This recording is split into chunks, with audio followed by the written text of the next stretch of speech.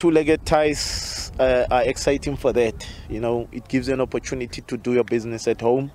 The difference with this one, of course, is that we are home first. And, uh, you know, I was sharing the experience of Zimbabwe. Uh, the last time when we qualified for, for Tokyo, where we put in a very sterling performance at Orlando Stadium, and uh, basically to put the tie, you know, to bet in the first leg, and we're looking to do that tomorrow.